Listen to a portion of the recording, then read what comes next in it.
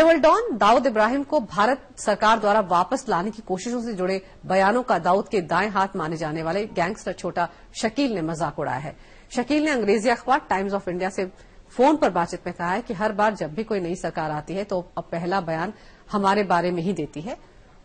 उसको लेकर आएँगे, पाकिस्तान में घुसकर लेकर आएँगे। छोटा शकील के मुताबिक दाऊद क्या हलवा है? दाऊद को बकरी का बच्चा समझ रखा है क्या? लाना है तो उसको लाओ ना।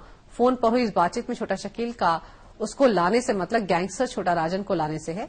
छोटा शकील ने अपने दुश्मन छोटा राजन को ऑस्ट्रेलिया में ठिकाने लगाने की कोशिश के बारे में कहा कि हम वहाँ पहुँच ही गए थे, लेकिन छोटा राजन चूहे की तरह वहाँ से भाग निकला।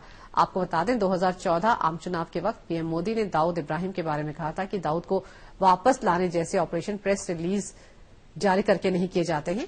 फ़ोन पर हुई बातचीत में छोटा शकील ने साफ़ किया कि उन्नीस सौ तिरानवे धमाकों के बाद वो और दाऊद इब्राहिम भारत लौटना चाहते थे लेकिन सरकार ने मंजूरी नहीं दी। छोटा शकील के मुताबिक इस बारे में दाऊद इब्राहिम ने उस वक्त राम जेठ जेठमलानी से भी बात की थी।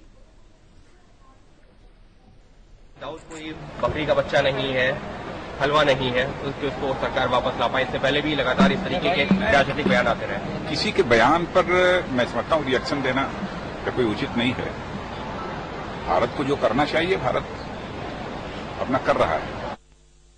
छोटा सा डील सर एक न्यूज़ पेपर को उन्होंने इंटरव्यू के दौरान उन्होंने कहा कि Dawood was in talks to return India कौन ये सब बकवास है दाऊद क्या बोलता है और छोटा शकील क्या बोलता है उसके ऊपर विश्वास रखना बिल्कुल गलत बात है। उसमें ज़्यादा बात करना भी गलत